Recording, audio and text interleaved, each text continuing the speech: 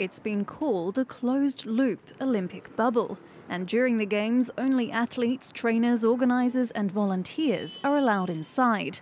The idea is to avoid any transmission of COVID 19 into Chinese communities. As soon as they arrive at the airport, participants in the Games will be accompanied to the bubbles in the capital, but also Yanqing and Zhangjiakou. Trains linking Beijing to the two other sites have dedicated carriages for Olympic personnel, while on the roads there's a special lane. Local police have warned drivers against helping people in danger. If you see an accident in the Olympic lane, keep your distance. Don't approach.